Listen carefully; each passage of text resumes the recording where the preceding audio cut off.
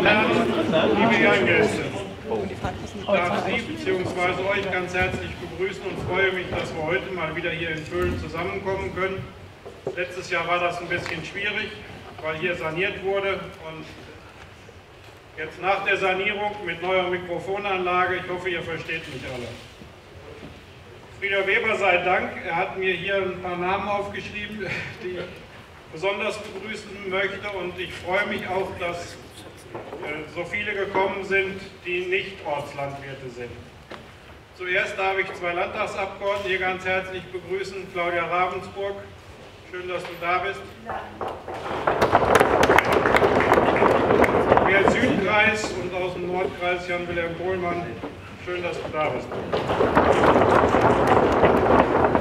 Als ehemaligen Landtagsabgeordneten Heinrich Heidel ich weiß, dass du, wenn es dir möglich ist, immer bei landwirtschaftlichen Veranstaltungen bist, aber wir freuen uns sehr, dass du auch dabei bist. Eigentlich sollte der Landrat heute hier auch sprechen, er lässt sich wegen Terminüberschneidungen aber entschuldigen. Genauso der Bürgermeister, dafür sollte die erste Beigeordnete dann hier sein. Heinrich, du bist für den Bürgermeister hier? Gut, dann haben wir das auch geklärt, denn ich habe die Frau Kubert auch noch nicht gesehen.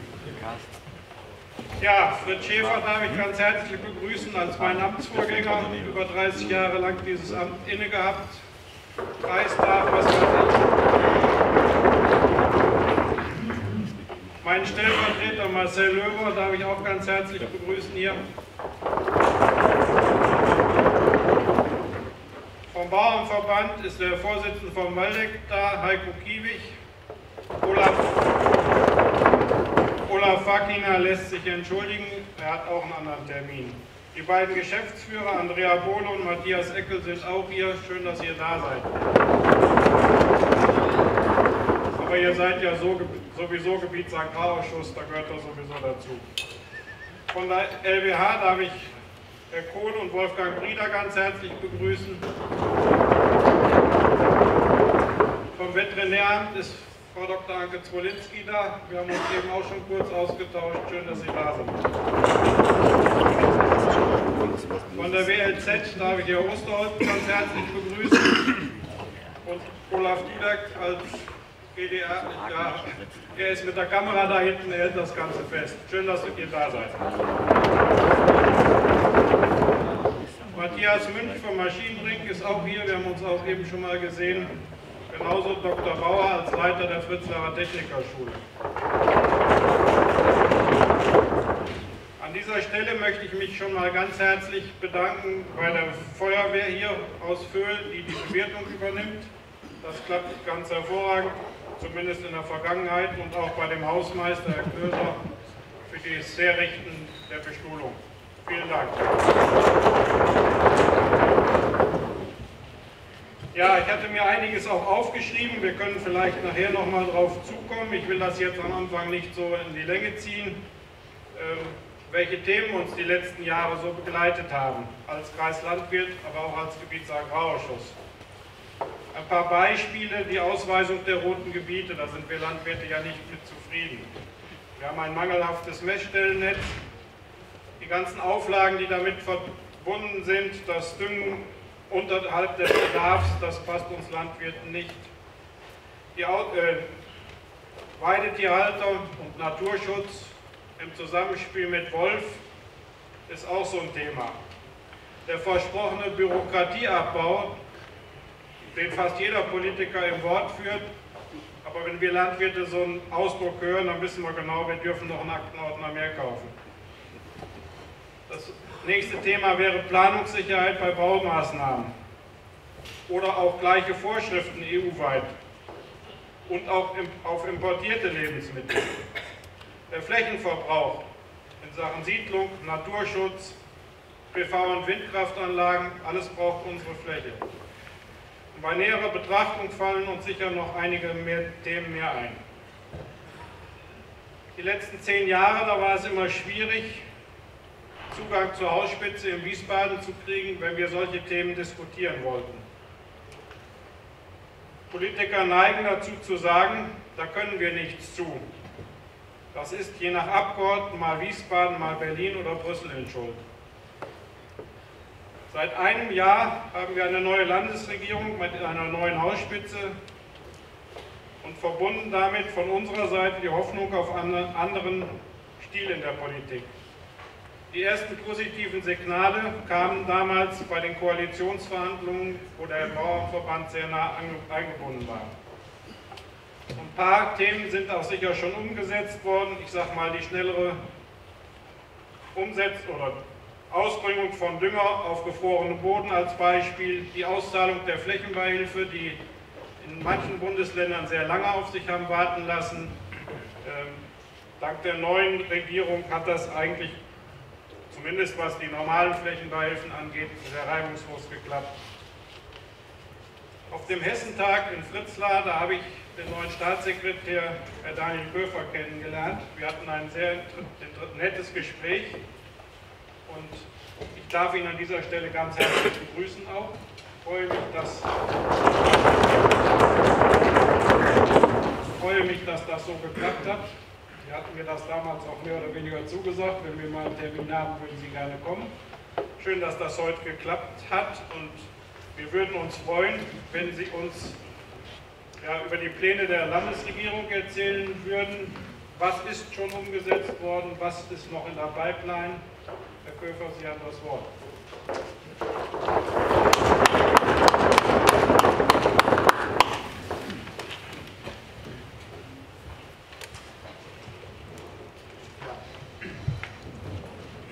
Sehr geehrter Herr Vollbracht, hören Sie mich? Ja, geht? Lauter sprechen, vielen Dank, Herr Alt. Also, äh, ja, sehr geehrter Herr Vollbracht, ähm, sehr geehrte Ortslandwirte, sehr geehrte Abgeordnete, ehemalige Abgeordnete und aktuelle Abgeordnete, äh, ich freue mich sehr, dass ich heute Abend hier sein darf. Ja, meine sehr geehrten Damen und Herren, ähm, die Bitte, etwas über die Arbeit der Landesregierung in den letzten neun Monaten und auch einen Ausblick auf das, was wir weiterhin vorhaben, zu geben, ist etwas, was ich sehr gerne mache. Ähm, und deshalb freue ich mich, dass ich heute Abend die Möglichkeit habe, bei Ihnen hier heute Abend bei den Ortslandwirten ähm, im Landkreis Frankenberg zu sein.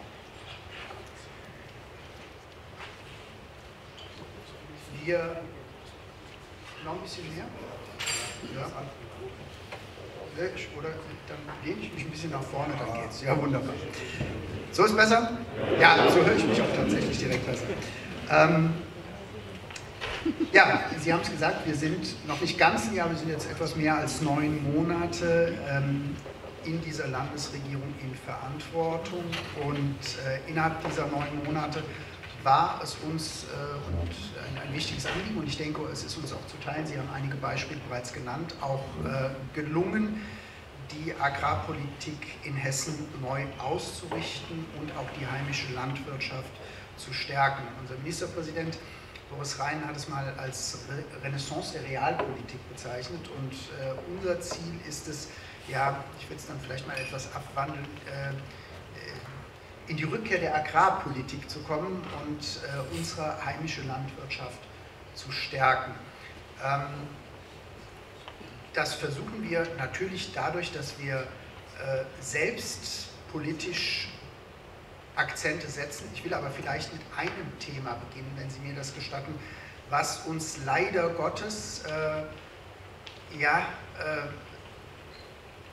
nicht überraschend, weil das haben uns Expertinnen und Experten ähm, recht früh gesagt, es ist keine Frage, wann ihr erwischt werdet, äh, Entschuldigung, ob ihr erwischt werdet, sondern nur wann ihr erwischt werdet. Es ist aber ein, ein, ein politisches Feld gewesen, auf dem wir agieren mussten. Ähm, und zwar im Sinne unserer Landwirte und ich denke, es ist uns ganz gut gelungen, auch bisher, aber es ist etwas, was äh, ja, uns vor große Herausforderungen in den letzten Monaten gestellt hat und das ist die Bekämpfung der afrikanischen Schweinepest, die natürlich ganz wesentliche Herausforderungen auch für unsere Nutztierhaltung und für unsere Schweinehaltung mit sich bringt und äh, ja, auf die wir reagieren mussten. Da konnten wir gar nicht agieren so schnell, sondern es war eine Reaktion, die erforderlich war, aber es war eben auch eine schnelle Reaktion erforderlich und ich denke, das ist uns auch ganz gut gelungen.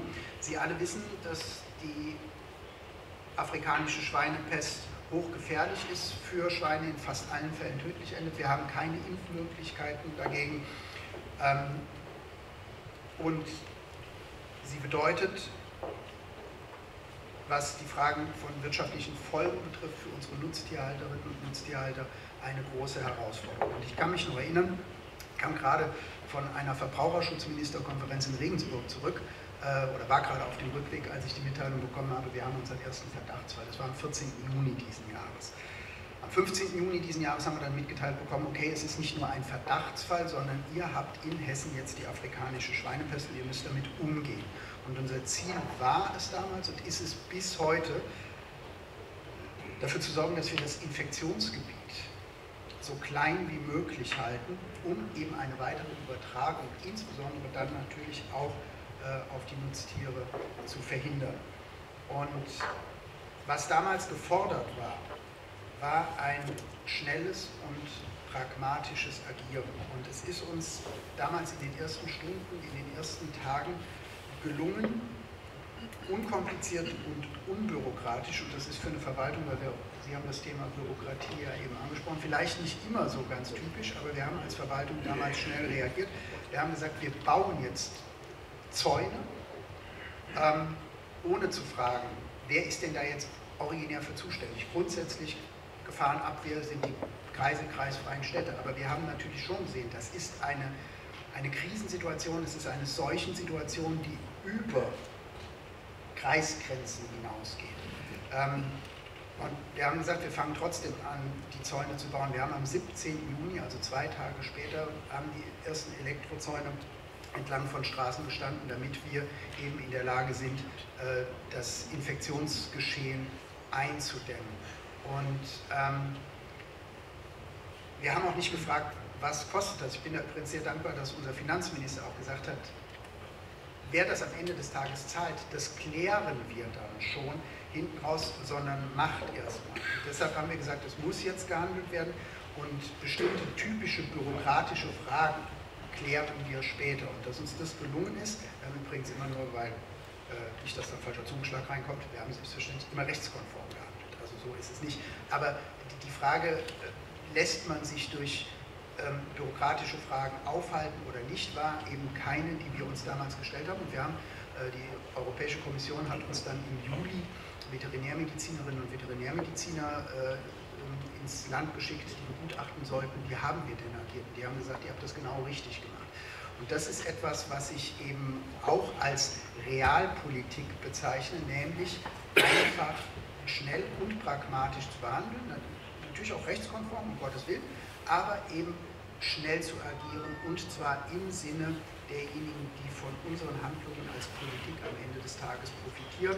Wie gesagt, die Eindämmung des Infektionsgeschehens im Sinne unserer Nutztierhalterinnen und Nutztierhalter ist ein ganz wesentliches Element dessen, was wir bis heute tagtäglich versuchen.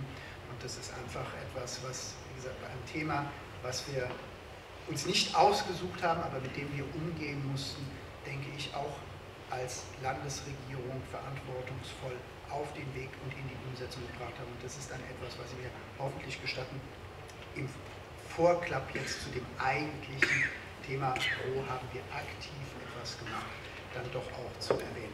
Ja, ähm, Herr Volk, Sie haben selbst schon gesagt, Wolf, ein wichtiges Thema.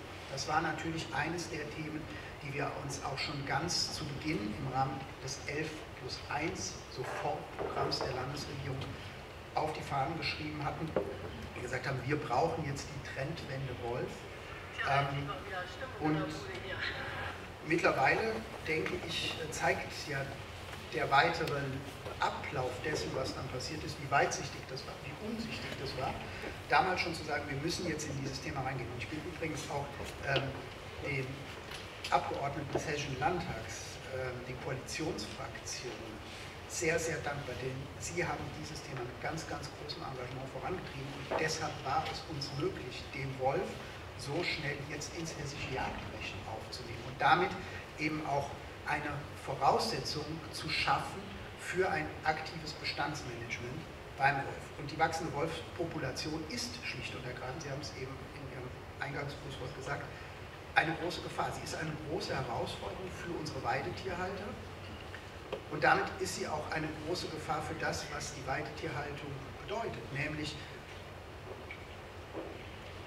sie ist entscheidend für den Landschaftsschutz, sie ist entscheidend für den Erhalt der Biodiversität. Und wenn wir das ernst meinen und immer wieder darauf hinweisen, dass es so ist, dann müssen wir eben auch die Rahmenbedingungen schaffen, dass Weidetierhalterinnen und Weidetierhalter ihrer Aufgabe, ihrer Funktion nachkommen können. Und natürlich, wir haben auch die Weidetierrichtlinie erneuert. Wir haben dafür gesorgt, dass unbürokratische Entschädigungen jetzt gezahlt werden können bei Wolfsrissen. Ähm, wir haben auch tatsächlich die Förderung erhöht für Schutzmaßnahmen. Nur mehr Geld für Zäune alleine reicht nicht, sondern wir brauchen eine maßvolle Bejagung des Wolfes, wir brauchen ein aktives Bestandsmanagement und das geht eben nur, indem wir doch, das haben Sie. Sehr leise. Ah, laut. So besser? Ist das besser irgendwie? Ja. ja, irgendwie ist mein Oberkörper zu kurz für. Gut. Ähm, ja, so ist, glaube ich, besser. Ähm, also, genau. Also, wie gesagt, mit einzig und allein mehr Geld für Zäune ist es nicht getan. Äh, das wird das Problem Wolf nicht lösen für die Weidetierhalterinnen und Weidetierhalter, sondern wir müssen eben in der Lage sein, ein ausgewogenes und aktives Bestandsmanagement zu betreiben. Und dafür ist die Aufnahme des Wolfs ins hessische Jagdrecht ein erster Schritt. Und was wir jetzt eben sehen, ist etwas, was lange Zeit übrigens auch an der Haltung der deutschen Bundesregierung gescheitert ist, dass die Lockerung des Schutzstatus ähm, des Wolfs auf EU-Ebene jetzt erfolgt ist bzw. erfolgen soll. Ähm, sie ist auf den Weg gebracht worden und jetzt ist es natürlich von uns, damit wir halt auch in Zukunft Handlungsspielräume schaffen können für Regionen mit vielen Wolfsbullen, für den Umgang mit sogenannten Problemwölfen von ganz entscheidender Bedeutung, dass der Bund, jetzt haben wir seit gestern Abend eine etwas schwierigere neue Situation, ja, aber es, es, wir erwarten weiterhin von der Bundesebene, dass sie die notwendigen Änderungen der FFH-Richtlinie Berner Konvention weiter vorantreibt, um dafür zu sorgen, dass wir eben ein Wolfsmanagement effektiv und dauerhaft in Zukunft sicherstellen können. Wie gesagt, wir sind als Hessen mit der Aufnahme des Wolfs ins Jagdrecht bestens vorbereitet und erwarten nun, dass die weiteren Schritte erfolgen können, damit wir dann eben mit Problemwölfen auch adäquat umgehen können auch das, wie gesagt, ist etwas, was wir als Rückkehr einer Agrarpolitik im Sinne der Stärkung unserer heimischen Landwirtschaft verstehen und wo wir, denke ich, dann eben auch auf einem sehr guten Weg sind und wo wir auch nicht weiter nachlassen werden, auch gegen einer, tja, gegenüber wie auch immer gearteten oder aufgestellten Bundesregierung jetzt weiter ähm, Druck zu machen. Und wie gesagt, äh, es besteht ja auch die Möglichkeit, dass wir alsbald dann eine neue haben und auch da werden wir natürlich bei diesem Thema weiter Gas geben. So, ähm, ich habe eben kurz über die ASP gesprochen. Ein Thema, was übrigens auch ähm, im Zusammenhang mit der ASP vielleicht nochmal mehr in den Fokus gerückt wurde, ähm, ist der Erhalt regionaler Schlachtstätten. Wir haben eine sinkende Anzahl von Einrichtungen und das belastet natürlich die Landwirtinnen und Landwirte. Das untergräbt im Übrigen auch die Idee der regionalen Vermarktung. Wir haben es gerade jetzt in Südhessen, jetzt bin ich natürlich bei Frankreich, also als Beispiel durch Südhessen, aber wir haben ähm, in, äh, in Prenzbach, im Bodenwald, ähm, den letzten Schlachthof geschlossen. Und das bedeutet, dass die Landwirte jetzt ihr Vieh natürlich über größere Entfernungen transportieren müssen. Das schadet dem Tierwohl, es ist schlecht für die Umwelt und es schadet dem Landwirtinnen und Landwirten. Und deshalb setzen wir uns dafür ein, haben wir auch äh, in der Agrarministerkonferenz getan, haben einen entsprechenden Antrag gestellt, dass wir die Schlachtstätten nicht durch überbordende Bürokratie oder die Existenz der Schlachtstätten nicht durch überbordende Bürokratie auf das Spiel setzen. Wir wollen dieses Schlachthofsterben stoppen und dafür müssen wir dafür sorgen, dass die Bürokratiehürden, insbesondere natürlich für kleine handwerkliche Schlachtbetriebe, verringert werden. Denn die sind ja letztlich das Rückgrat der regionalen Fleischproduktion. Und deshalb müssen wir sie halten. Wie gesagt, wir haben uns auf der Agrarministerkonferenz auch schon erfolgreich damit einen Antrag eingebracht und auch da entsprechende Erwartungshaltung äh, adressiert und entsprechende Vorschläge gemacht.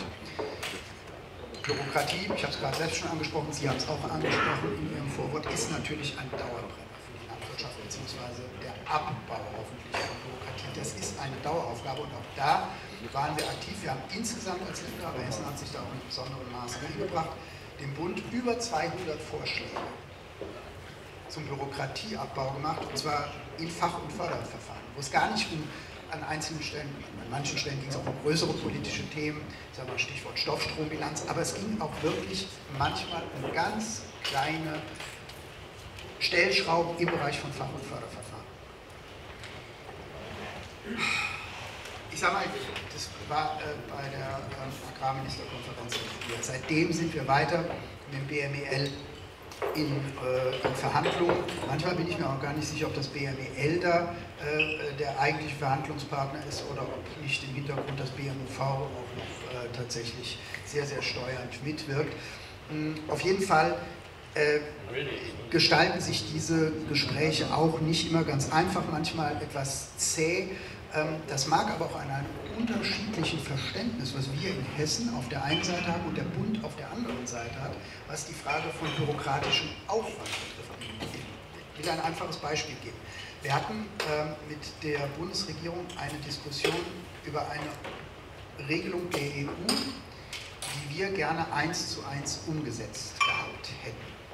Diese Regelung hätte mehr Flexibilität, mehr Wahlmöglichkeiten für die Landwirtinnen und Landwirte bedeutet. Die Bundesregierung hat dann gesagt, ja, Moment mal, wenn die Landwirtinnen und Landwirte mehr Wahlmöglichkeiten haben, dann haben wir ja aber einen größeren Aufwand bei der Überprüfung. Das heißt, der Bund versteht Bürokratieaufwand als zusätzlichen Aufwand für die Verwaltung durch selbstgeschaffene Regelungen. Wir verstehen Bürokratieaufwand als Aufwand, der durch die Verwaltung für Landwirtinnen und Landwirte geschaffen wird. Wenn man aber ein so unterschiedliches Verständnis hat, dann darf man sich nicht wundern, dass der Bund sagt, ja, wenn wir Bürokratie abbauen wollen, dann bedeutet das, wir wollen unseren Landwirtinnen und Landwirten mehr Fesseln anlegen. Hauptsache, unsere Verwaltung hat weniger zu tun dann darf man sich am Ende des Tages auch nicht wundern, dass wir immer wieder an dieser Stelle in Diskussionen, die wir mit der Bundesebene führen, dicke Bretter bohren müssen, äh, weil, wie gesagt, da ein ganz anderes Verständnis davon vorherrscht, wer denn mit Bürokratie den größeren Aufwand hat, nämlich die Adressaten oder die Verwaltung selbst. gibt sicherlich noch weitere Punkte, äh, die ich ansprechen könnte. Da haben Sie mir aber schon ein paar vorweggenommen. Das sind nämlich Punkte, wo wir als Hessen selbst vielleicht auch besser werden können, äh, Bürokratie abbauen können, ohne dass wir weitere Ebenen brauchen, ohne dass wir uns mit dem Bund über irgendwas einigen müssen oder dass wir den Bund brauchen, um sich mit der Europäischen Union auf irgendwas zu einigen. Und da ist ein wunderbares Beispiel, eben Sie haben es angesprochen, die Düngung auf angefrorenen Boden. Wobei ich da vielleicht auch noch dazu sagen darf, ähm, es hieß ja immer, wir brauchen eine Lösung nach bayerischem Vorbild oder nach dem Vorbild der bayerischen Regelung. Wir haben dann damals ähm, äh, gesagt, okay, das machen wir und dann haben wir gesagt, können wir die bayerische Regelung denn mal sehen? Dann haben wir festgestellt, es gibt gar keine schriftliche Regelung in Bayern. Äh, das wurde so kolportiert, das wurde behauptet, das findet sich auch überall wieder. Also haben wir selbst eine Regelung geschrieben und wir haben das dann tatsächlich auch verschriftlicht und im Erlasswege dann rausgegeben. Das heißt, ich sage mit ein bisschen Fug und Recht und auch ein bisschen Stolz daneben, wir in Hessen waren die Ersten, entsprechende Regelung geschaffen hatten. Ähm, und insofern ist das eben auch ein wunderbares Beispiel, wo wir uns selbst immer wieder hinterfragen müssen selbst immer wieder schauen, schauen müssen, wo können wir es als Landesregierung einfach mal leichter machen. Es gibt weitere Punkte, an denen wir aktuell arbeiten, etwa Vereinbarung, äh, Entschuldigung, nicht Vereinbarung, Vereinfachung von Abstandsregelungen und Messerschutz und auch von diversen Dokumentationspflichten. Da werden wir dranbleiben, da werden wir uns für praktikable Lösungen einsetzen, da werden mit den Landwirten, Landwirtinnen im Austausch bleiben, um eben zu schauen, was und wie können wir das am besten für Sie umsetzbar machen. Bürokratische Regeln bedeuten ja im Übrigen auch, das muss man sich vielleicht auch immer mal wieder vor Augen führen, beziehungsweise das muss ich Ihnen eigentlich nicht vor Augen führen, das müssen wir uns eher als Politik immer mal wieder vor Augen führen. Ähm, bürokratische Regelungen bedeuten natürlich auch häufig nicht nur Aufwand, sondern insbesondere dann, wenn sie schnell wechseln, auch einen Mangel an Planungssicherheit. Und das ist natürlich etwas, ähm, was nicht zu einem System der Landwirtschaft passt. Sie denken in Generationen. Und das bedeutet, Sie brauchen Planungssicherheit, gerade auch wenn es um die Zukunft von Betrieben geht. wir müssen ja jungen Landwirtinnen und Landwirten eine Perspektive geben und müssen ihnen auch eine, ähm, ja, eine Chance geben, die elterlichen Betriebe in eine stabile Zukunft zu führen. Das geht nur, wenn wir nicht permanent Regeln ändern. Das heißt, Planungssicherheit ist wichtig, wir brauchen stabile Regeln und wir brauchen eben auch eine Bürokratie, die nicht nur A, Aufwand bedeutet, sondern wir brauchen auch eine ähm, wir müssen auch dafür sorgen, dass bürokratische Regelungen oder insgesamt Regelungen, die Teil von Bürokratie sind, sich nicht permanent ändern und äh, die es eben ermöglichen, zentrale Zukunftsinvestitionen, Stichwort Stallbau beispielsweise, eben ähm, anzugehen. Wir dürfen eben nicht dafür sorgen, dass über Jahre und Jahrzehnte, und das ist etwas, was wir mit der noch existierenden Bundesregierung eben an vielen Stellen auch diskutiert haben, ähm, wir, wir, müssen dafür sorgen, dass dort eben keine Unsicherheit herrscht. Wir dürfen nicht durch Versäumnisse zu Blockaden kommen. Und ähm,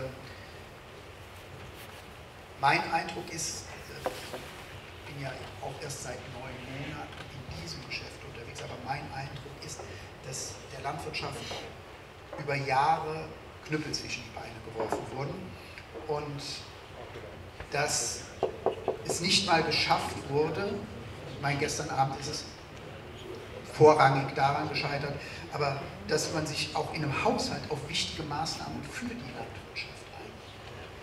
es ist immer wieder in Blockaden geendet und wir, das sage ich auch gerade mit Blick auf die Geschehnisse gestern Abend und auch heute, brauchen eine Bundesregierung, die sich für die landwirtschaftlichen Interessen einsetzt und die auch nicht durch permanent neue Hürden, durch permanent neue Regelungen die Wettbewerbsfähigkeit unserer Landwirtschaft in Deutschland und in Hessen konterkariert und gefährdet. Und ähm, beim Thema Wettbewerbsfähigkeit ist es ja eben gerade so gewesen, auch in den vergangenen Jahren, dass wir ganz häufig, ich habe das eben das Beispiel gebracht, EU-Regelungen nicht eins zu eins umgesetzt haben, sondern nochmal eine nationale Sonderlockerung brauchten und die dann ganz häufig dazu geführt hat, dass Sie als Landwirtinnen und Landwirte nicht mehr wettbewerbsfähig und konkurrenzfähig gegenüber den europäischen Kolleginnen Carsten Schmal hat im Rahmen der Diskussion um den Agrardiesel damals gesagt, er wäre ja bereit, für Zugeständnisse beim Agrardiesel, aber nur, wenn in allen EU-Ländern der gleiche Weg gegangen wird. Aber genau diese Einheitlichkeit, die gibt es nicht. Und gleichzeitig haben wir es geschafft, wir meinen jetzt nicht die erste Landesregierung, sondern wir es geschafft. Darf ich mal dazwischen gehen, Entschuldigung, ja? aber wir würden gerne was verstehen hier hinten. Ich denke, da gibt es eine neue Anlage hier in der Halle. Also jetzt habe ich es aber echt am Mund. Das ist doch hier schlau. Es wird immer leiser, leiser, leiser. Einfach mal Bescheid geben, weil das wird hier von hier vorne. Das merkt ihr doch auch, dass es leise ist, oder nicht? Nee, das merken wir hier nicht. Ach, eingeschlafen.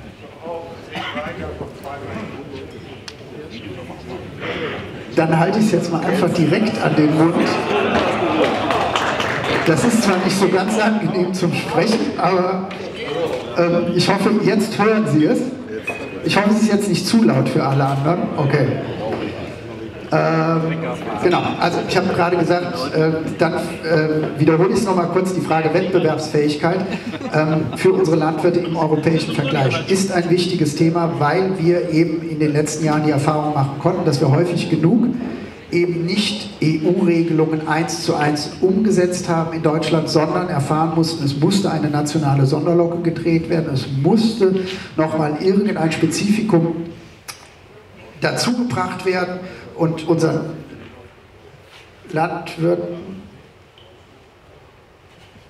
und Landwirten, okay, äh, zugemutet werden, was sie dann im Umgang mit oder auch im Wettbewerb mit ihren europäischen Kolleginnen und Kollegen benachteiligt hat. Und ich habe eben auf den hessischen Bauernverbandspräsidenten Bezug genommen, der gesagt hatte in der Diskussion um den Agrardiesel, dass er gesagt hatte, er wäre ja sogar bereit dazu, Geständnisse zu machen, aber eben nur, wenn alle europäischen Länder da oder alle EU-Länder den gleichen Weg gehen würden.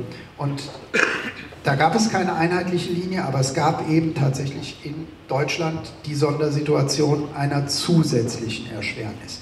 Und das ist einfach etwas, wo man sagen muss, Wettbewerbsfähigkeit, Planungssicherheit, also ganz entscheidende Aspekte für landwirtschaftliche Betriebe sind in den letzten Jahren unter die Räder gekommen und es ist für uns als Hessische Landesregierung entscheidend, dass wir diese Wettbewerbsfähigkeit stärken, dass wir Planungssicherheit wiederherstellen und ebenso wichtig aber eben auch die Anerkennung für die Arbeit, die Sie tagtäglich leisten, immer wieder auch in den Vordergrund stellen. Wir haben vom ersten Tag an, äh, Sie haben es beschrieben, äh, in dieser Legislaturperiode den Dialog mit Ihnen gesucht. Wir haben um gemeinsame Lösungen, ich will nicht sagen gestritten manchmal, aber schon gerungen und wir werden das auch weiter tun. Für uns ist es wichtig, als Landesregierung zu sagen, dass die Landwirtschaft ein ganz wesentlicher Bestandteil unserer Gesellschaft ist und das verdient Respekt, das verdient Wertschätzung, denn sie leisten einen unverzichtbaren Beitrag zur Nahrungsmittelerzeugung, zur Pflege unserer Kulturlandschaft und auch zur regionalen Wertschöpfung. Und das muss sich auch im Umgang mit den Landwirtinnen und Landwirten ausdrücken. Und deshalb ist es für uns wichtig, eine nachhaltige und zukunftsorientierte Agrarpolitik mit Ihnen gemeinsam zu formulieren und umzusetzen. Wir haben uns viel vorgenommen. Ich habe ein paar Dinge beschrieben, die wir schon gemacht haben und wir möchten weitere Themen eben auch zügig angehen.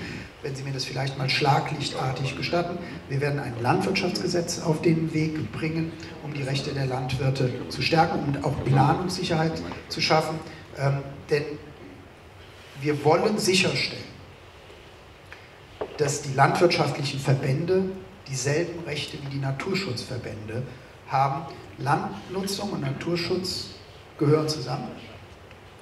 Und deshalb verdienen Landwirtinnen und Landwirte eben auch Mitsprache und Anerkennung für ihre Beiträge zum Naturschutz. Und deshalb muss es dann eben auch so sein, dass sie sich in der gleichen Art und Weise äußern können und dürfen, wie Naturschutzverbände das rechtlich abgesichert eben auch dürfen.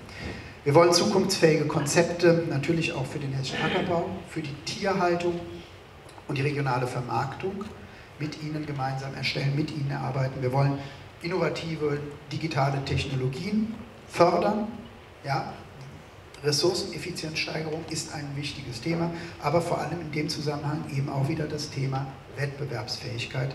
Äh, und das sind Kernstücke einer modernen Agrarpolitik, ähm, die, die berücksichtigen muss, was für Bedürfnisse unsere heimischen Landwirte, unsere heimischen Landwirtinnen haben. Und auf diese Bedürfnisse müssen wir unsere Politik zuschneiden und dafür stehen wir und das wollen wir auch gemeinsam mit Ihnen entwickeln und umsetzen. Deshalb, jetzt habe ich schon sehr lange gesprochen, äh, hoffe ich nicht zu lange. An manchen Stellen, es tut mir leid, zu leise anscheinend, ähm, beziehungsweise zu weit weg vom Mikro. Ich stehe Ihnen aber gleich gerne auch noch für einen weiteren Austausch zur Verfügung. Deshalb möchte ich jetzt zunächst einfach mich bei Ihnen allen ganz, ganz herzlich bedanken für Ihre tägliche Arbeit, für Ihren Einsatz und eben tatsächlich, das gehört eben auch dazu, unter den erschwerten Bedingungen, die Sie in den gerade auch letzten Jahren äh, oder mit denen Sie umzugehen hatten, für Ihr Durchhaltevermögen. Ja? Hessen braucht sie, wir brauchen unsere Landwirtinnen und Landwirte, wir wollen mit ihnen gemeinsam dafür sorgen, dass die hessische Landwirtschaft in unserem wunderbaren Bundesland eine Zukunft hat. Und zwar nicht nur für die jetzigen Generationen, sondern auch für zukünftige Generationen. Und ähm, ja, dabei stehen wir an Ihrer Seite. Wir wollen mit Ihnen gemeinsam diese Herausforderungen meistern und ähm, dafür sorgen, dass wir eine stabile, dass wir eine respektierte und dass wir eine zukunftsorientierte Landwirtschaft gemeinsam gestalten können, dass wir die auch als Landesregierung entsprechend fördern können. Ich bedanke mich bei Ihnen allen für Ihre Aufmerksamkeit. Ich bedanke mich nochmal ganz, ganz herzlich A für die Einladung und B für die tolle Organisation. Wie gesagt, Mikroanlage muss man dann vielleicht nochmal gucken, aber Sie haben es eben gesagt, all denjenigen, die an dieser Organisation der Veranstaltung heute Abend beteiligt waren, der äh, möchte ich mich auch vielen Dank anschließend ganz, ganz herzlich bedanken und freue mich jetzt auf den weiteren Austausch.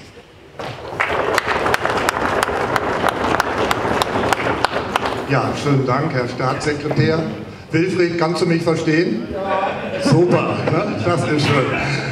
Ja, äh, zuerst einmal muss ich sagen, äh, ich bin wirklich froh, dass der Saal so gut gefüllt ist. Ich nehme an, das Interesse an der neuen hessischen Landespolitik ist nach wie vor sehr groß. Ich bin auch froh, äh, dass unser Kreis Landwirt den Staatssekretär angesprochen hat, dass er hier mal in den hohen Norden kommt. Äh, jeder weiß also, wer in Wiesbaden tätig ist, äh, das ist immer eine weite Reise und manchmal habe ich so den Eindruck, äh, manche müssen auch ein bisschen weghören, Herr Pohlmann, dass, das, dass Sie hier das Waldecker, Frankenberger Land so ein bisschen scheuen. Wir sind einfach zu weit weg, es ist zu kalt hier. Ne? Trotzdem, Herr Köfer, schön, dass Sie heute hier sind. Sie haben Ihren persönlichen Referenten mitgebracht, Herrn Backhaus. Ich glaube, das zeigt auch, dass wir heute nicht allgemein nur reden wollen, sondern dass es um Konkretes geht, dass Sie was mitnehmen wollen, das machen ja alle Politiker, aber dass sie es dann vielleicht auch weiter anregen und erledigen wollen. Das ist so für uns Bauern immer wichtig. Äh, aber da sind wir auch wirklich guter Hoffnung. Ja, Sie hatten ein Thema angesprochen, was hier oben ganz sensibel ist, das ist das Thema Schlachtstätten. Äh, ich glaube, das können wir heute hier, das wäre abendfüllend, wenn wir das nochmal von A bis Z aufreißen. Aber da werden Sie aus Waldeck, Frankenberg äh, immer wieder Anliegen hören, dass wir hier was tun müssen. Wir sind eine viel starke Region. Wir brauchen in der Richtung was und da müssen wir einfach weiter im Gespräch bleiben. Wir haben Glück, das muss ich auch sagen, äh, dass wir so ein starkes Handwerk hier noch haben im Metzgerbereich, die das kompensieren können. Äh, sonst wäre es äh, für uns hier sehr schlecht mit dem Schlachtbetrieben. Zum Thema Bürokratieabbau, da gucke ich jetzt so die Praktiker an, die sagen, naja, da hat sich ja noch nicht ganz viel getan. Da muss ich so als Entschuldigung sagen, ich bin ja auch mittlerweile ein alter Stammbürokrat, so schnell geht das auch nicht. Äh, aber äh, das Ministerium hat eine Stabstelle eingerichtet zum Bürokratieabbau äh, und da sitzt nicht irgendjemand, sondern da sitzt ein ganz alter, erfahrener Hase, der Herr Trautmann, der vielen bekannt ist, sicher aus der Förderung. Eigentlich sollte er schon in Pension sein, aber der Minister hat ihn gefragt, Herr Trautmann, würden Sie das Amt übernehmen und verlängern? Wir müssen einfach was tun, das sind wir unseren hessischen Bauern schuldig. Äh, und Trautmann hat, so habe ich jetzt erfahren, Ja gesagt und hat verlängert äh, und geht äh, diese Angelegenheit an. Und der ist wirklich immer im Kontext mit uns. Und da hoffen wir, sage ich mal, dass da auch in Praxis was bei rüberkommt. Wir hatten äh, vor einigen Tagen Amtsleiterbesprechungen, da ging es wirklich schon um konkrete Dinge. Jetzt berichte ich mal so ein bisschen aus der Förderung, ohne meine Kollegin da vorgreifen zu wollen. Also wenn man alleine dieses Konstrukt sieht, wenn man die LLH-Seite aufmacht, Ökoregelung Halm 2, was man da alles machen kann, was es da gibt, aber auch was man beachten muss, ähm, das ist eine Herausforderung.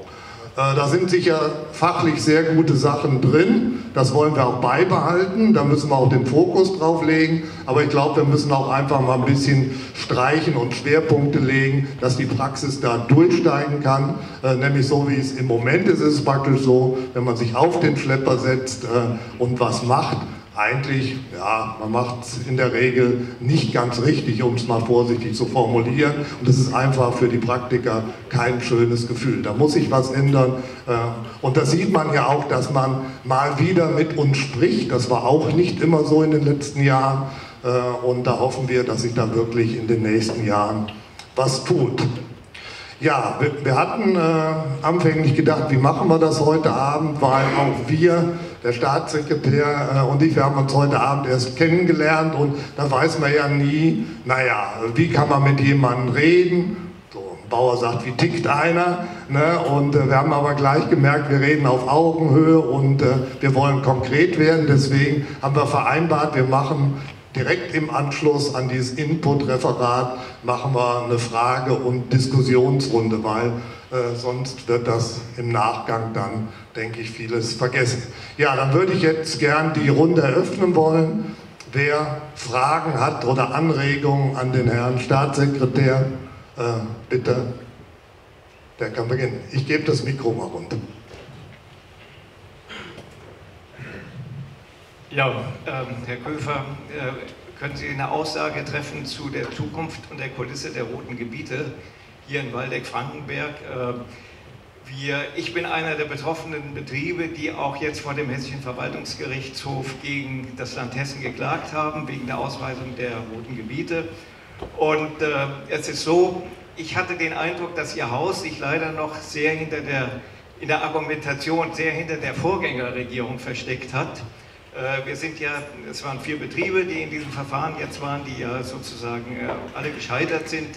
Und äh, es würde mich doch sehr interessieren, wie Ihr äh, sozusagen Ihr Blick auf die roten Gebiete ist und Ausweisung äh, und äh, vor allen Dingen auch die Implementierung neuer Messstellen, weil wir halten den Zustand tatsächlich für untragbar, weil eben Messstellen hier herangezogen werden, die unserer Meinung nach, und das gilt ja auch für Sie, Herr Hage, A, nicht rechtskonform ausgewiesen worden sind und B, auch eigentlich nicht tatsächlich die Situation widerspiegeln, wie sie hier äh, von den Nitratgehalten im Grundwasser, äh, wie sie sie tatsächlich darstellen. Das würde mich interessieren, also wie Ihr Blickpunkt darauf ist, Ihre Sichtweise.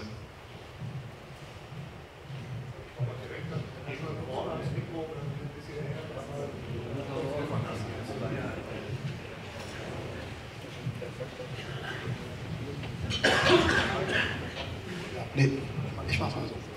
Ähm, genau. Ähm, ja, zum einen ist es tatsächlich so, dass wir äh, schon einen intensiven Fokus darauf legen, das Messstellennetz tatsächlich auszuweiten, auch die Menge von Messstellen tatsächlich äh, zu erhöhen. Das ist auch tatsächlich äh, schon bis zu gewissen Graden gelungen. Wir werden aber auch, äh, ich will jetzt nicht, äh, wir, führen gerade äh, intensive Haushaltsverhandlungen, ja, ähm, aber äh, haben auch schon vor, noch zusätzliche Mittel in den Ausbau des Messstellennetzes dann eben zu investieren. Das ist ein Punkt. Ein anderer Punkt ist natürlich, Sie haben das vielleicht auch mitbekommen, was insgesamt die Frage Umgang mit roten Gebieten, nitratbelasteten Gebieten betrifft.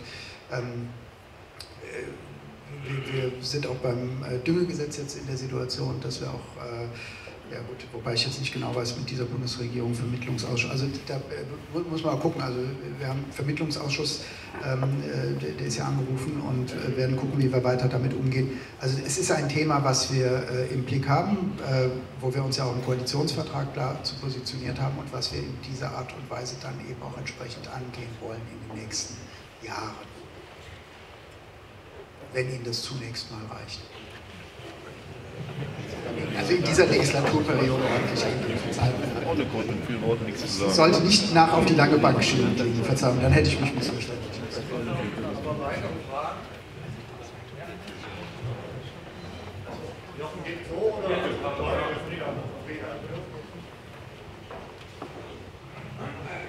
Ja, hallo. Ähm, mir reicht die Aussage jetzt nicht. Und zwar haben wir ja äh, repräsentative Messstellen, die werden vom Land nicht äh, zu, zum ähm, Thema hinzugezogen, ähm, währenddessen andere Messstellen, die nicht in landwirtschaftlichen Einzugsgebieten zum Zuge kommen. Da könnten Sie auch noch was zu sagen. Beispiel ähm, Volkmaßen, Fleischverarbeitungsbetrieb Henkelmann, die Messstelle wurde jetzt neu mit hinzugezogen, erschließt sie uns Landwirten nicht.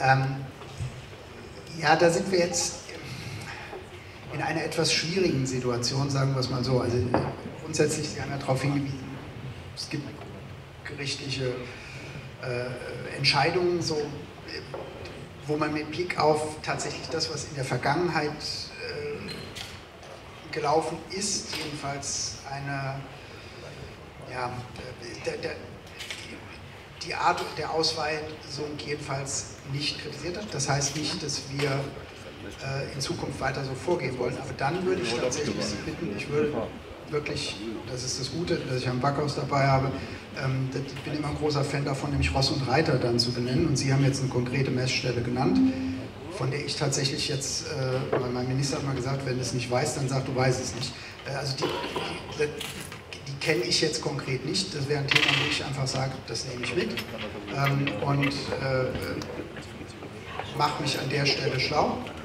Äh, Sie würden mir auch noch hinterlassen äh, Ihre Erreichbarkeit. Ja, und dann können wir das so machen, dass wir uns genau über die Frage dieser Messstelle, die Sie in Volkmaßen eben jetzt gerade erwähnt haben, weiter austauschen. Und ich gucke da tatsächlich, was ist da das Problem, beziehungsweise was ist die Herausforderung oder was kann man da machen. Wäre das okay für Sie?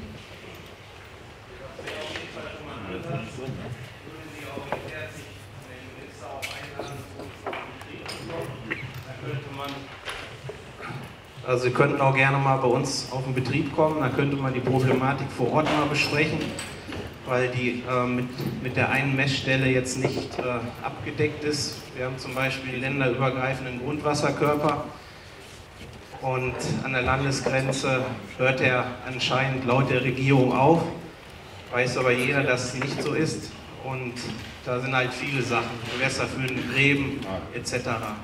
Und wir Landwirte arbeiten in Wasserschutzkooperationen schon mehrere Jahre zusammen und erzielen sehr gute Ergebnisse und fühlen uns ja, eigentlich ähm, sehr ungerecht behandelt bei der Ausweisung der roten Gebiete. Aber wir können gleich mal im Anschluss sprechen und dann tauschen wir die Adressen aus und dann können Sie gerne mal vorbeikommen. Vielleicht noch ein Satz HLB hat ja den Auftrag, das zu erweitern und zu ändern. Da wäre es vielleicht wirklich gut, Bitte an das Ministerium, dass die Landwirtschaftsfraktion auch mit zukommt. Dass das nicht nur eine Wasserbehörde geht, sondern dass wir Landwirte da ein Diskussionsprozess beteiligt werden. Ich allein das wäre heute der Abend von wert, wenn das passieren könnte, weil gerade hier mit den umfangreichen hat uns wirklich. Äh, in der Praxis aber auch Motivation an von vorne. Seit Jahren belegen die roten Gebiete, wir können es nicht nachvollziehen, hier auch als Verwaltung. Also wirklich mit, Jochen, ich bin ihm eigentlich dankbar für die endlosen Diskussionen, aber wir können auch nichts sagen.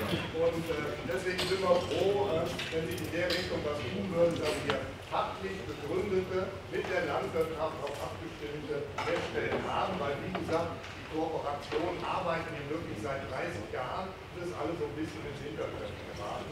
Ich denke, das ist jetzt äh, ein guter Moment, dass wir das Thema dann noch mal aufnehmen. Das wäre, denke ich, für uns alle. Jo, gehen wir runter weiter.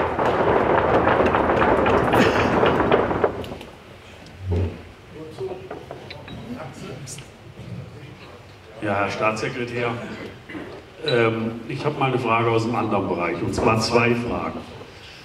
Sie haben eben mit dem Naturschutz und was alles angesprochen und das Thema Wolf, was ja doch dem einen oder anderen Weidetierhalter auf den Nägeln brennt. Jetzt gibt es ja in Hessen Zuschüsse für Weidetierhalter, für mich als schafhaltender Betrieb. Ich habe das äh, auch in Anspruch genommen. Wir kriegen 80 Prozent auf Zäune äh, vom Netto. Da würde mich mal die Frage interessieren, warum kriegen unsere Kollegen in Bayern 100 Prozent vom Brutto und wir nur 80 vom Netto? Warum kann man das nicht mal angleichen? Und vor allen Dingen, warum muss das immer und ewig so lange dauern? Es heißt immer, wir kriegen Hilfen, wir kriegen Unterstützung. Jetzt haben wir diesen Zaun in Anspruch genommen. Wenn ich das jetzt abrechnen will über den Fachdienst, ich weiß von Kollegen, die warten seit letztem Herbst auf die Zahlung. Wir müssen ja erstmal in Vorleistung gehen, bis wir die Gelder kriegen. Es wäre schön, wenn das mal ein bisschen angestoßen werden könnte, dass das mal ein bisschen beschleunigt wird, dass wir auch wirklich mal eine Hilfe hätten. Und das andere Punkt ist, wenn wir so im, ja, es gibt ja nicht nur Ackerbauern und es gibt ja nicht nur Milchviehbetriebe, es gibt ja halt auch noch die Mutterkuhhalter, es gibt die schafhaltenden Betriebe, die viel im Naturschutz machen und die viele Töpfchen versuchen anzukratzen, anzuzapfen, wo es immer heißt, ähm, wir helfen euch, wir helfen euch. Aber unsere Finanzdecke ist so dünn. Wenn das nochmal passiert, was letztes Jahr passiert ist, dass wir ab Weihnachten auf Gelder warten und ich vor ein paar Wochen selber an die WIBank eine E-Mail schreiben muss, weil die Restgelder noch nicht gezahlt wurden im August, dann können Sie sich den Naturschutz bald einpacken, weil das schafft keiner mehr. Dann wird das Vieh abgeschafft, dann müssen wir uns anderweitig ernähren. Also das will ich euch mit auf den Weg geben. Das darf nicht in dieser Form nochmal passieren. Sonst könnt ihr den Naturschutz wirklich zumachen. Und dann fallen hier oben viele Flächen nieder. Dann ist im Nationalpark oder im ähm, Naturpark Kellerwald-Edersee, was beides dem Land Hessen direkt untersteht, die Flächenpflege in der Form nicht mehr gesichert.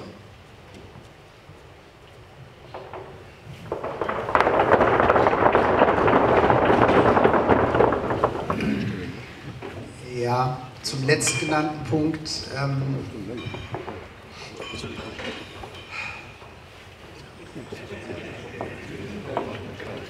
die Frage, ähm, jetzt muss, muss, ich mal ein bisschen aufpassen, die Frage wie E-Bank und, die, ähm, und die Abwicklung äh, der Förderverfahren ist eine, bei der ich selbst in einem sehr intensiven Austausch mit der WIBank und auch mit ähm, der Geschäftsleitung dort stehe, weil das tatsächlich in unterschiedlichsten Bereichen etwas ist ähm, bei diesem Förderverfahren, sowohl im Antragsverfahren als auch tatsächlich ähm, dann im Auszahlungsverfahren, äh, wo wir sehr unzufrieden sind, wo wir auch sehr unzufrieden mit der Performance des IT-Dienstleisters sind. Auch mit dem habe ich mich schon getroffen.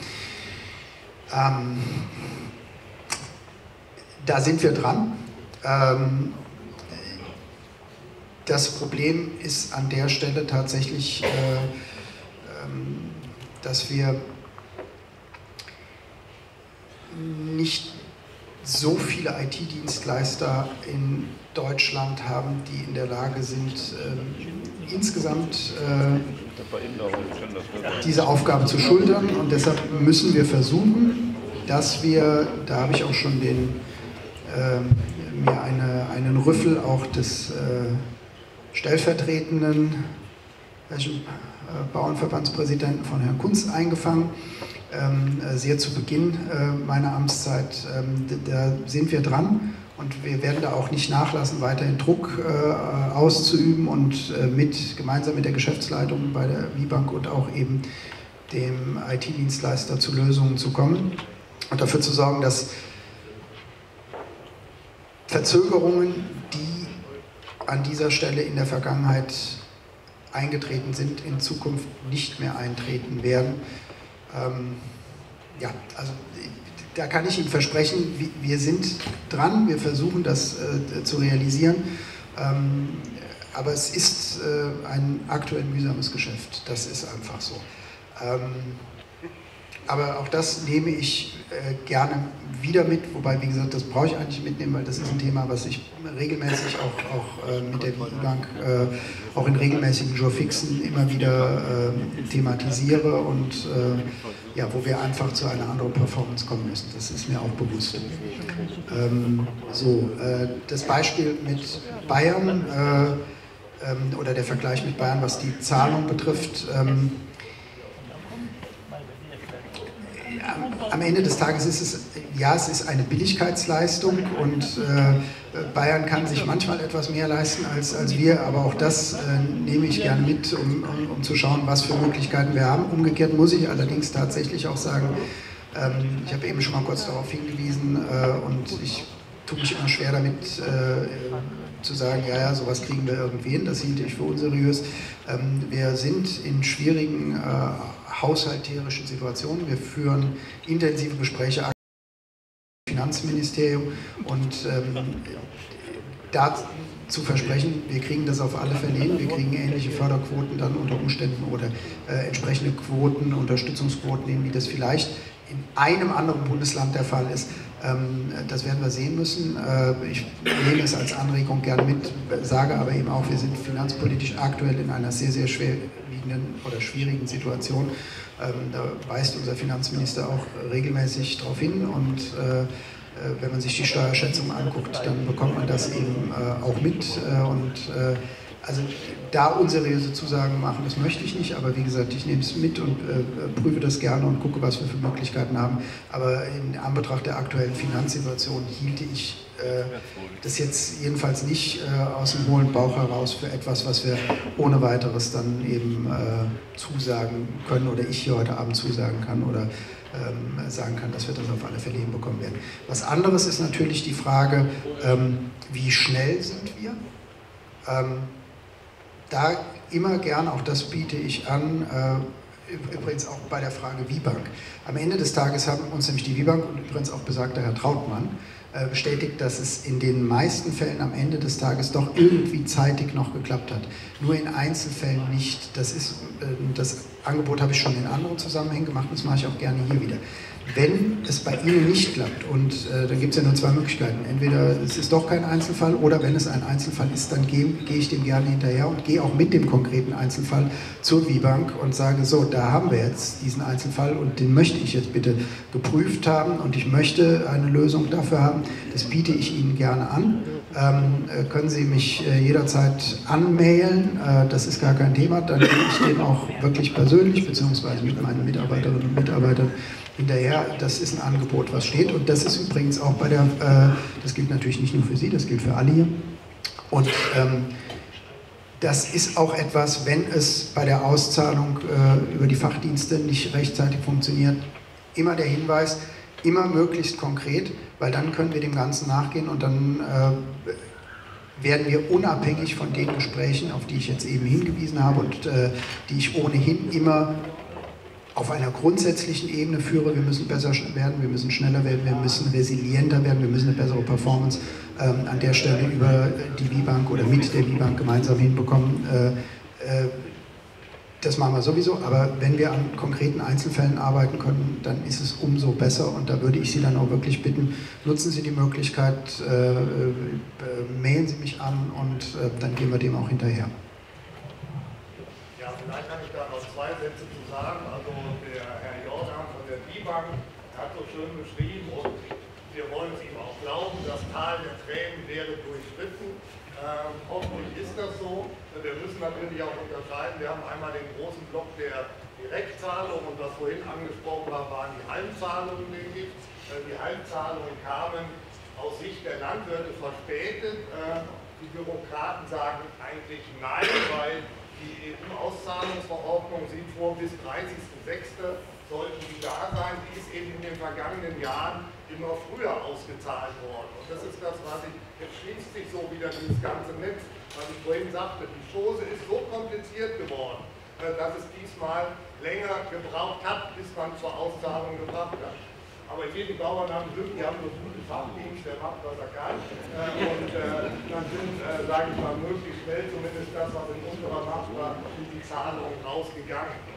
Äh, aber Tatsache ist, äh, dass, klar, das weiß das Ministerium, das wissen auch wir, aber vor allem die B-Bank und Ibitus als Dienstleister, äh, da muss sich was ändern, aber ich sage mal so, wir dürfen uns da nichts vormachen. Also das, was Sie auf Ihren Anträgen immer sehen, also was da mittlerweile an Datenvolumen, an Mengen hinter ist, das muss verarbeitet werden.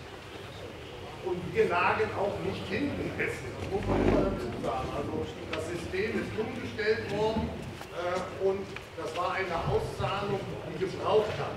Das ist keine Entschuldigung, aber äh, wie gesagt, ich glaube, es muss sich an dem Gesamtsystem Fördersystematik, es muss vereinfacht werden, dass Gelder, die beantragt werden, dann auch schneller ausgezahlt werden. Ich denke, das ist einfach äh, die Verwaltung des Praktikers das ist das eine. Dann äh, Weidetierschutz.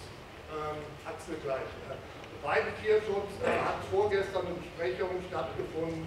Äh, da gibt es eine Richtlinienüberarbeitung. Äh, das wird jetzt äh, in der nächsten Zeit dann rauskommen. die Arbeitsgruppe hat getagt. Zu den Unterschieden zu Bayern muss ich sagen, so ganz unzufrieden sollten wir Hessen mit unserem Weidetierschutz, mit den Förderquoten nicht sein denn die Fördergrundsätze äh, waren doch sehr, sehr angepasst äh, festgelegt, um nicht zu sagen niedrig. Äh, das war also sehr praxis- oder ist sehr praxisfreundlich, was da alle gefördert wird. Äh, das, damit sehen wir mit diesen 80 Prozent eigentlich gar nicht so schlecht aus. Äh, Bayern kann höher sein in der Förderquote, aber wir müssen auch gucken, was in Bayern gefördert wird. Und es wird dann jetzt in 2025 da eine Änderung geben. Wie gesagt, das sind Billigkeitsleistungen des Landes und äh, das Geld muss dann auch irgendwo herkommen. Und ich glaube, in der derzeitigen Diskussion wird es für den Haushalt 25 keinesfalls einfacher als für 24. Und trotzdem, äh, so habe ich mitbekommen, Ressort Landwirtschaft hat relativ gute Karten in den Haushaltsverhandlungen. Äh, So ist es auf der Besprechung gesagt worden. Wollen wir, wir ob das ist und dann wollen wir mal sehen, was bei der neuen Weidetierschutzrichtlinie rüberkommt. Jo, Axel.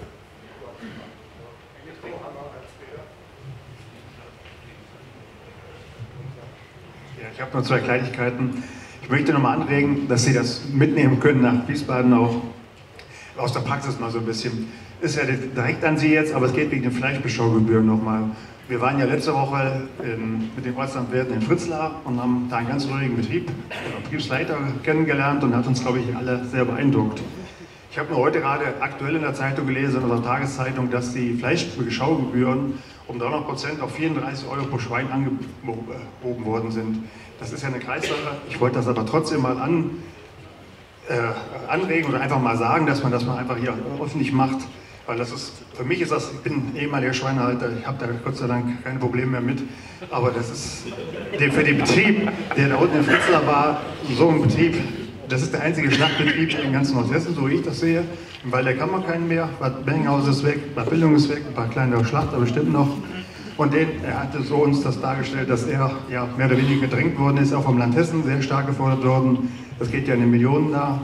Und ich habe nur heute das gedacht, Mensch, 34 Euro, also dafür, ich weiß nicht, wer kann dafür schlachten, wer kann dafür erzeugen und wer kann es vermarkten. Also das, nur das einfach mal so sagt, das finde ich unmöglich, weil das ist beißt sich einfach. Wir werden immer groß gepredigt, regional, weil Sie erst am Anfang auch so gesagt haben, regional und dann wird es auf der Kreisebene hier kaputt gemacht mit diesen Schlachtgeschüren, die so stark angestiegen sind. Steht heute in der Zeitung, ich beziehe mich darauf. Dann wollte ich nur sagen, ich bin jetzt, wir haben noch so ein paar vereinlaufende Hühner, die können Sie gar nicht vermarkten, nur dass man einfach mal darüber spricht. Wir haben das gemacht, gerne und das sind ja 50 bis 100 Stück. Da sind wir dann weit gefahren, wenn Sie offiziell schlachten wollen, mit Gebühren. Also es lohnt sich nicht. Wir hätten einen Markt dafür, würden die locker loskriegen, aber sie kommen in die Tonne. Nur, dass Sie das wissen, wir haben eben nicht so viele, wir haben ja große Betriebe auch hier. Da kommen dann LKWs, die gehen aber alle ins Ausland irgendwo hin. Und das ist eben auch schade, weil einfach alles so teuer geworden ist. Danke.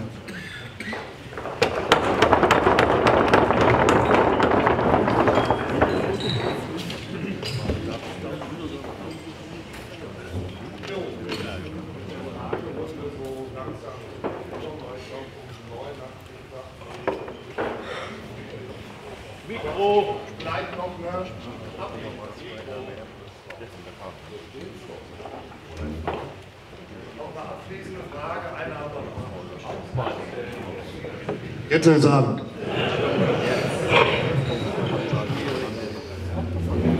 Ja, auch Herr Köfer, ich bin äh, Milchviehhalter aus dem Kreisgebiet und äh, ich wollte Ihnen gerne auch noch mal ein kleines Anliegen mitgeben. Anschluss an die roten Gebiete, Stickstoffdüngung.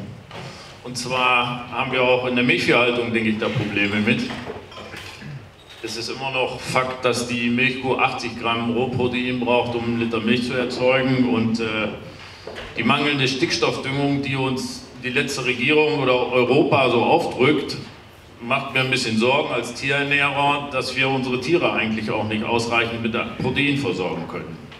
Das wissen wir alle immer noch. Die mangelnde Stickstoffdüngung lässt den Weizen in der Qualität sinken. Wir haben keine Backweizensorten mehr, die ausreichend für die Mühlen die Qualitäten bringen können. Und äh, wenn ich die Harnstoffwerte von unserer Milch, die wir so abliefern, so manchmal so sehe, dann brauchen wir eigentlich auch bessere Grassilagen mit höheren Proteinwerten. Und äh, das möchte ich Ihnen und auch Jan Wilhelm und Frau Ravensburg mal auch mitgeben.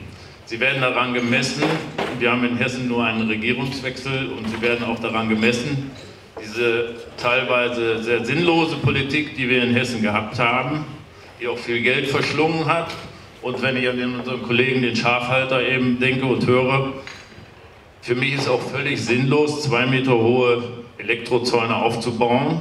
Ich weiß auch, was das für eine Arbeit ist und was das für Kosten sind. Für einen Wolf, den eigentlich keiner braucht, den unsere Vorfahren schon Jahr, Jahrhunderten und Jahrtausende ausgerottet haben. Und wir machen da so einen, Entschuldigung, ein bisschen Schwachsinn.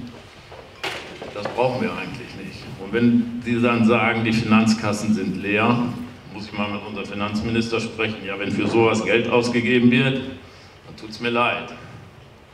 Ich hoffe, nehmen Sie es mit nach Wiesbaden und Jan Wilhelm, du bist auch immer ein Ansprechpartner für uns, nehmt es mit Ihr werdet daran gemessen, was von diesen Sachen, die für uns Praktiker völlig unverständlich sind, was da wegkommt und wie die neue Regierung damit umgeht. Und habt den Mut, streicht einfach mal was und macht euch keine Gedanken über noch bessere Zäune. Sonst kommen sie einfach mal weg und andere Lösungen her. Dankeschön.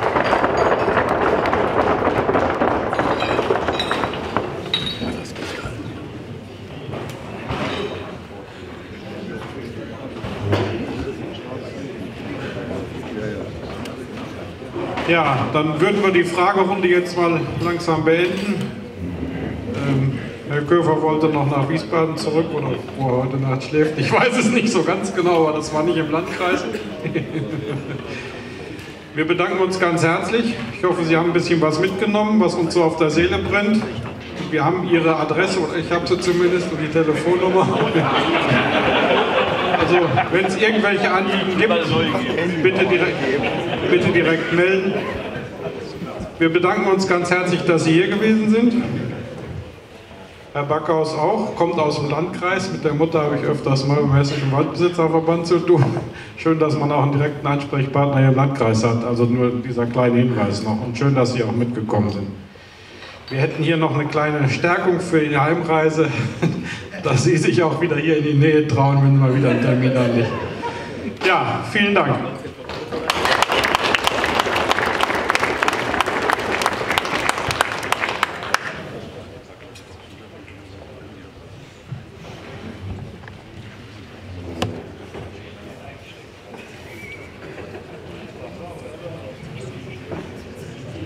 Jo, dann machen wir mal weiter im Programm.